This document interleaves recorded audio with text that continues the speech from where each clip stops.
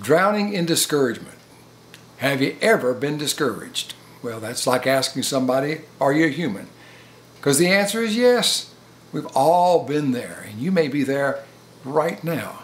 And I want to tell you, there are two paths that you can take. One is a path of destruction and drowning and dying in it, or there is another path that the Lord has provided for us, and I want to show you that for sure. But I go back to Numbers, uh, chapter 21. The children of Israel were discouraged. They were discouraged because of a lack of patience. God wasn't doing and performing the way they felt like He should perform. Well, there's a lot of reasons why we're discouraged, and that might not be one of them with you. I mean, discouragement comes because sometimes we're just tired. Uh, we have a tendency to work hard and, and things are not working the way we think they ought to work out. We get discouraged because of a physical problem, but discouragements do come. And in the case of Israel, it was because they had been out in the wilderness so long that they got angry. And they said, Moses, why'd you bring us out here? To die in the wilderness? And of course, Moses turned to God. He said, Lord, what, what, what should we do? The people are turning against you. And we're talking about people that have seen the miracle hand of God working for them, through them. They saw all that you read about in, in Exodus the, the opening of the Red Sea and the providing of the water and the manna from heaven, uh, the, the plagues that came upon Pharaoh.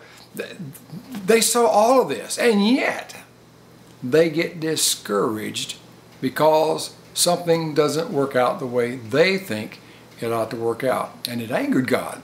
And to the extent that they said, okay, he caused uh, fiery serpents to come upon the people, to sting them, and they had sores that were very, very uh, infectious to the extent that some of Israel died.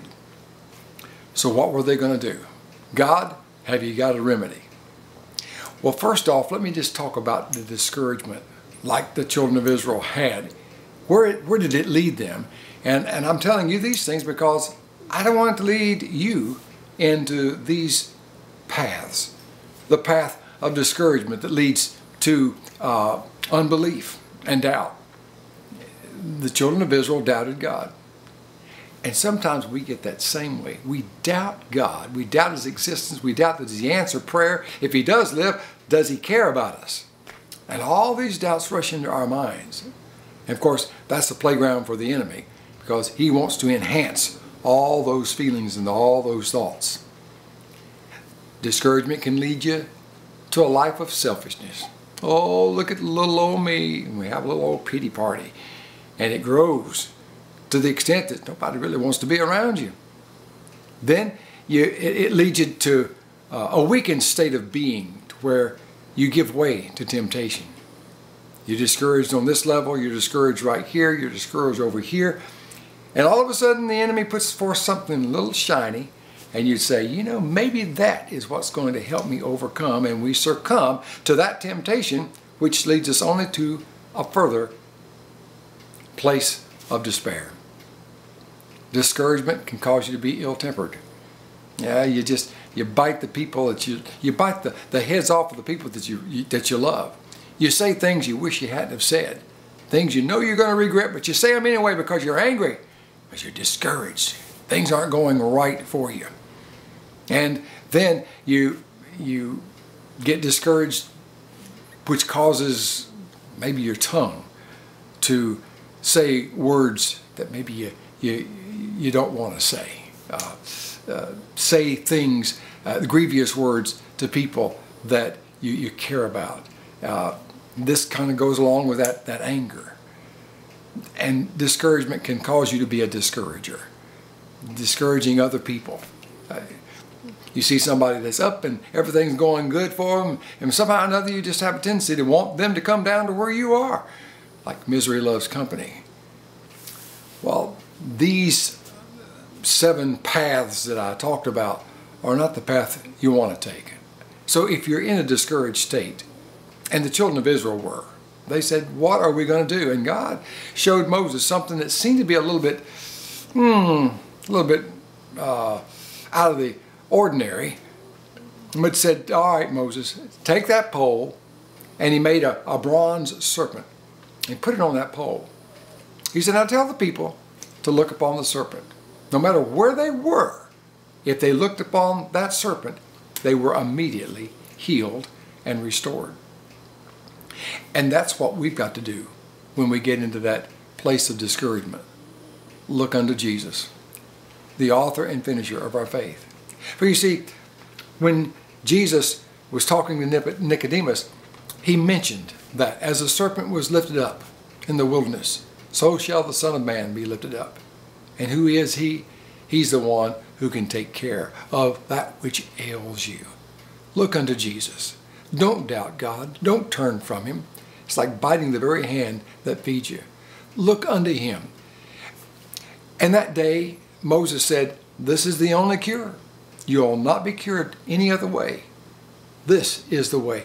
And that's what the Lord is saying today. He's saying, I am the way. I am the truth. I am the life. No one comes into the Father except he come by way of me. No one is ministered to and touched in the way that they need to be except they turn to me. So look unto the Lord. Let him touch you and minister to you.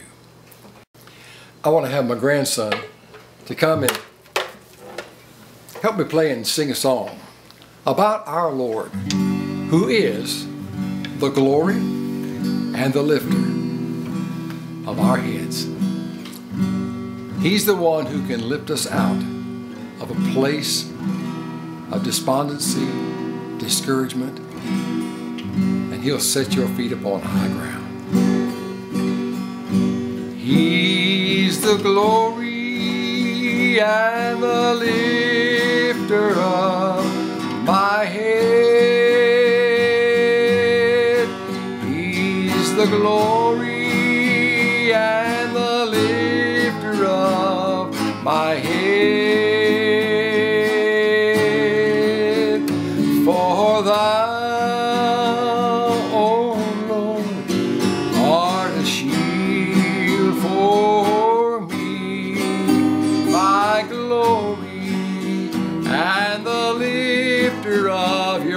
my glory and the lifter of my glory and the lifter of my head.